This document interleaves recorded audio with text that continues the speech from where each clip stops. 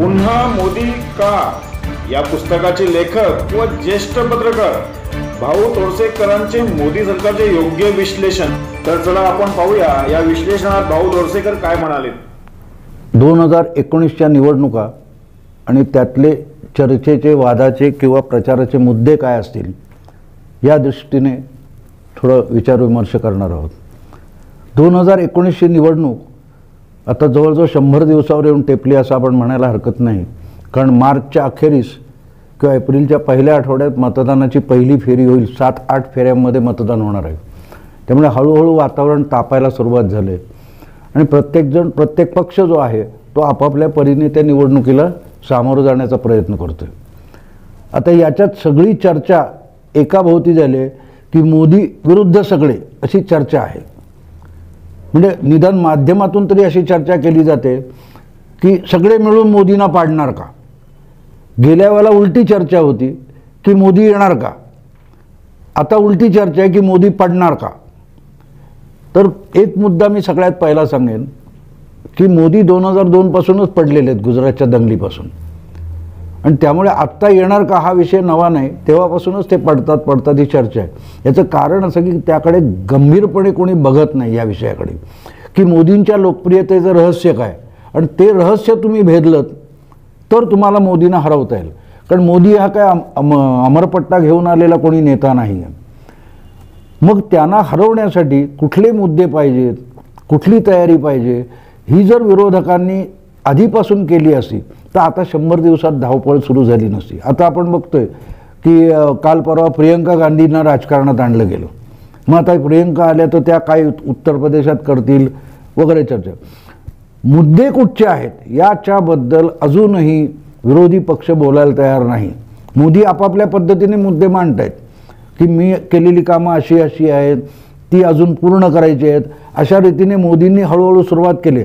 तुम्ही बघाल तर मोदी वेगवेगळ्या प्रांतामध्ये जाऊन वेगवेगळ्या मोठमोठ्या सभा घ्यायला त्याने ऑलरेडी सुरुवात केलेली आहे. पण विरोधक अजूनही ते करत नाही. तर काल परवा बघाल तुम्ही तर कोलकात्यामध्ये ममता बॅनर्जींनी प्रचंड मोठी सभा घेतली. आठ लाखाच्या आसपास त्याला गर्दी होती असं म्हणतात. पण त्या सर्वपक्षीय सभा म्हणून त्यांनी घेतली त्याला मायावती सोनिया गांधी किंवा राहुल गांधी गेले नाही. त्यांनी आपले प्रतिनिधी पाठवले पण ते गेले नाही.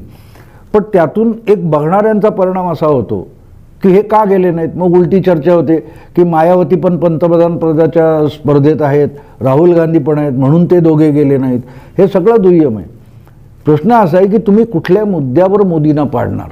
आता तुम्ही जेव्हा लोकांसमोर जाल आणि सांगाल की बाबा मोदींनी गेल्या पाच वर्षात काहीच केलं नाही. आता काही केलं नसेल तर या देशामध्ये प्रचंड मोठी उलथापालच झाली असती. आपण त्याच्या आधीचं सरकार बघितलं तर दोन हजार अकरापासून म्हणजे निवडणूक दोन हजार चौदामध्ये झाली. मधल्या तीन वर्षामध्ये इतकी उलथापालत झाली होती. लोकपाल आंदोलन झालं होतं. त्याच्यानंतर तुमचे निर्भया कांड झालं होतं. प्रचंड भ्रष्टाचाराचे आरोप झाले होते. ह्या मोदींच्या संदर्भात तुम्हाला आरोपच जर झालेलं नसतील किंवा आरोप झाले नाहीत कारण घोटाळे झालेले नाहीत. आणि आरोप झालेत मी नाही म्हणणार नाही की अमुक काही झालं की मोदींच्या काळात घोटाळा झाला हे गृहीत धरलं गेलं आहे. राफायलसारखा विषय आला. त्या राफायलला उत्तरं दिली गेलीत आणि ती उत्तरं साफ फेटाळण्याची विरोधी पक्षाची तयारी नाही कारण त्यांच्याकडे मुद्दे नाही. त्यांना असं वाटतंय की आपण जसं बोफोर्समुळे राहुल राजीव गांधी हरले होते एकोणनव्वद साली तसं राफायलचा आरोप ट- टिकवून ठेवला की मोदी हरतील. या गृहितावर विरोधी पक्ष चालला आहे आणि मोदी आपल्या अचिव्हमेंटवर चाललेत. किंवा मी इतक्या लोकांना गा इतक्या गावात शौचालय नेलं घरोघर इतक्या महिलांना गरीब महिलांना आम्ही गॅसचं कनेक्शन दिलं इतक्या लोकांना जनधन अकाउंट काढले चाळीस कोटी काय ते जनधन अकाउंट काढले झिरो बॅलन्स अकाउंट काढले इतक्या लोकांना पहिल्यांदा बँकेत आणलं की त्यांना थेट सबसिडी द्यायची सुरुवात केली. हे मुद्दे घेऊन मोदी जाणार आहेत. आता गंमत अशी आहे की मोदी जेव्हा बोलतील की आम्ही इतक्या लोकांना जनधन खात्यामध्ये किंवा थेट सबसिडीतून अनुदान पोहोचतं केलं तर समोर बसलेले त्याचा नकार देऊ शकणार नाहीत. आणि तिथे मग मोदी त्या मतदाराला जिंकू शकतात. त्यामुळे विरोधकांना एक गोष्ट पाहिजे की मोदींच्या अंगाला चिकटतील जाऊन असे आरोप करायला पाहिजेत. मुद्दे असे पाहिजेत की ज्याच्यावर मोदी उत्तर देऊ शकत नाही. राफायल हा एक मुद्दा घ्या तुम्ही गेले सहा महिने लावून धरलेला मुद्दा आहे. पण त्याच्यावर सरकार प्रत्येक वेळेला उत्तर देतं सुप्रीम कोर्टातून त्याच्यावर क्लिअरन्स आलेला आहे स्पष्टीकरण आलेलं आहे की याच्यात कुठचीही गफलत नाही. आता मग तुम्ही आरोप करताय तुम्ही कोर्टालाही मान्य करत नाही आणि मग परत म्हणतात की सुप्रीम कोर्टावर विश्वास ठेवा. किंवा राम मंदिराचा मुद्दा आपण घेऊ. राम मंदिराचा मुद्दा घेतला की तेच लोक म्हणतात तुम्ही सुप्रीम कोर्टावर विश्वास ठेवता की नाही. आणि तेच लोक राफायलमध्ये सुप्रीम कोर्टाने निर्णय दिल्यानंतर कोण नाकारते तेच लोक आहेत जे राम मंदिराच्या प्रकरणात सुप्रीम कोर्टावर विश्वास ठेवा म्हणतात. ही जी विरोधकांची गल्लत आहे ही युक्तिवादाने समाधान दाखवता येतं.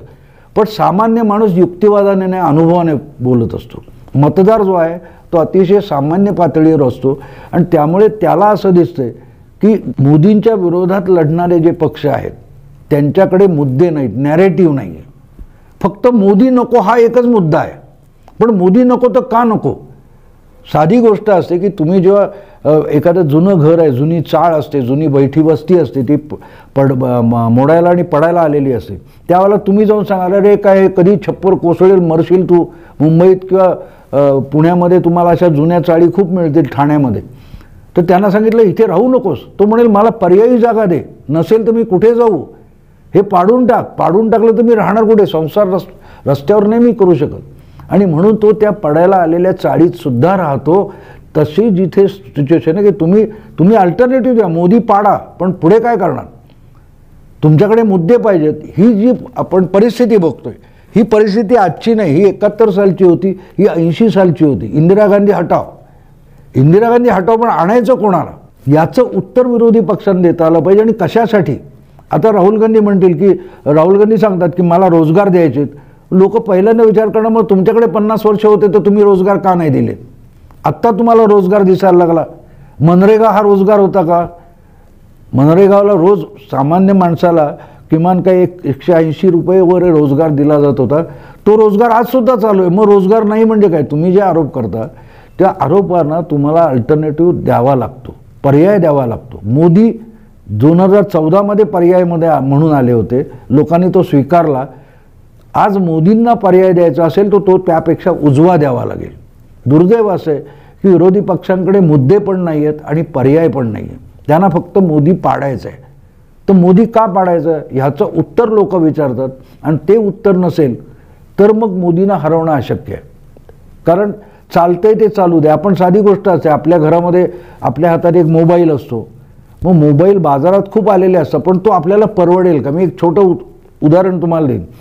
की गेल्या वर्षी म्हणजे दोन हजार अठराच्या दिवाळीमध्ये सतराच्या दिवाळीमध्ये ऐन वेळेला एस टीचा संप झाला दिवाळीमध्ये. आणि लोक एस टीच्या नावाने शिव्या शाप देत होते.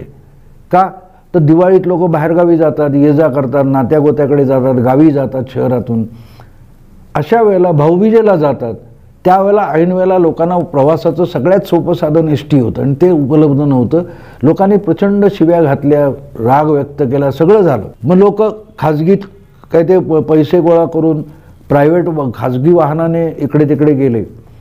पण संप संपला आणि सुरू झाल्यानंतर लोकांनी एस टी सोडली नाही परत एस टीत बसायला लागले. कारण तो पर्याय परवडणारा आहे. लोकांना परवडणारा पर्याय लागतो. तेव्हा मोदीच्या जागी तुम्ही कोणाला आणणार? ते या देशाला या जनतेला परवडणार आहे का? या दृष्टीने लोक विचार करतात. आणि मी गेली साडेचार वर्ष मी हे सतत लिहित आलो की विरोधकांना पर्याय द्यावा लागेल आणि पर्याय तो असा द्यावा लागेल की तो मोदींपेक्षा उजवा वाटला पाहिजे तर मोदी तुमच्या मतदार तुमच्याकडे येऊ शकतो. दुर्दैव असं आहे की आज निवडणूक शंभर दिवसावर आली असताना सुद्धा विरोधकांकडे मुद्दे नाहीत. म्हणजे आरोप खूप झालेत पण मुद्दे काय? तर मुद्दे नाही आहेत आणि त्यामुळे आपण जे काम सुरू केलं आहे ते आणखीन पुढे घेऊन जाण्यासाठी मोदी जेव्हा लोकांसमोर जातील तेव्हा लोकांना दुसरा पर्याय नाही म्हणून त्यांना निवडावं लागेल. मोदी उत्तम म्हणून निवडला जाणार नाही. हे ह्या देशाचं दुर्दैव आहे. मी परत मग एकदा सांगेन की आपल्या मतदाराला काहीतरी नको आहे म्हणून काहीतरी निवडावं लागतं. हे दुर्दैव आहे. सत्तर वर्षानंतर आपली लोकशाही इतकी प्रगल्भ होऊ शकली नाही. की आपल्याला उत्तमातलं उत्तम निवडता यावं. त्यामुळे विरोधकांकडे मुद्दे नाहीत विरोधकांकडे संघटना नाही. म्हणून मोदी परत विजयी होतील. हे हा त्या पक्षाचा विजय असेल. पण मला असं वाटतं की लोकशाही प्रगल्भ न झाल्याचं दुःख त्याच्यात आहे.